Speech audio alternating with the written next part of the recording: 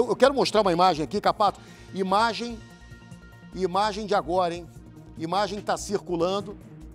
Olha esse assalto na saída 6 da linha amarela. Olha a pressão dos caras. Olha como o Rio de Janeiro está.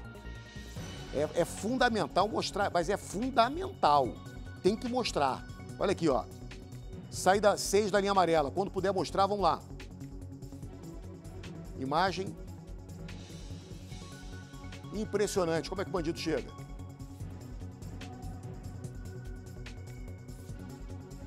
Entrada 6 da linha amarela. O Razinho tem informações sobre esse assalto. Alô, Razinho.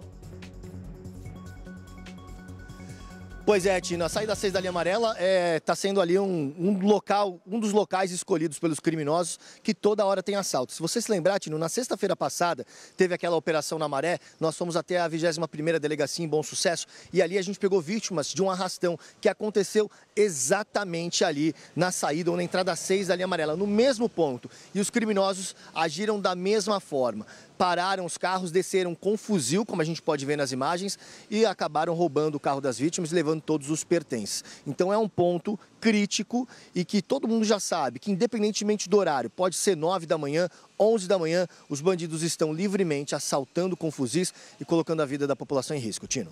Obrigado, Razinho. Uma vergonha isso, mas é, é vergonhoso. E veio outro que ainda bateu na traseira desse carro que eles estão usando. Ó. Os caras com fuzil, luneta, é armamento de guerra.